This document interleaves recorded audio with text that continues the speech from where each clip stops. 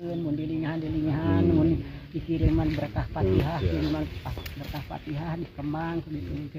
Gitu kalau teh aki teh katitip anak teh. Nganitipkeun ka bapak abdi gitu. Nitipkeun.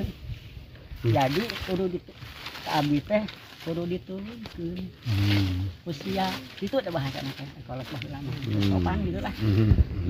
tulungkeun usia.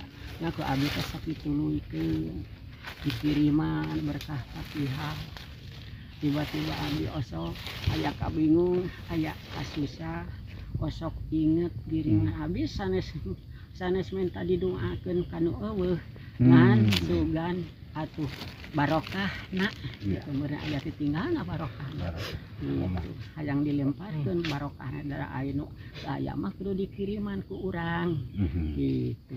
Nah jadi ieu teh kahutanan lokasi ieu teh anu anu ieu teh jadi di dia oge.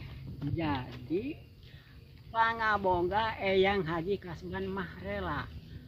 Untuk bogaun anak itu hmm. sebagai kan aya aja ngurus. Hmm. jadi dititipkan ke pemerintah nya diiun lokasi meren perhutani.